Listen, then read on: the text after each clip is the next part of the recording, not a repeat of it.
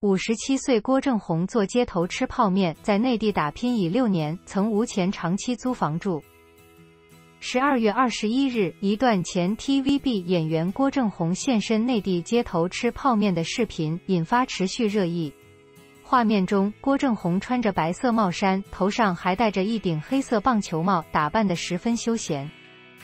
十岁开始习武，十九岁以龙虎武师身份正式入行的郭正红，出道已经三十八年。二零一五年，郭正红离开了自己效力二十八年的 TVB。此前，在一个采访中谈到离开 TVB 的原因，他表示是因为身边熟悉的同事相继离巢，令他感觉十分孤独，于是也选择了离开。不过，他下定决心离巢，或许也跟 TVB 工作辛苦、工资却不多有关。明明拍了不少戏，但很长一段时间他都买不起房，一家四口一直租房住。后来离开 TVB 来到内地工作后，虽然没有接到特别好的资源，但是网剧以及各种商演的邀约还是非常多。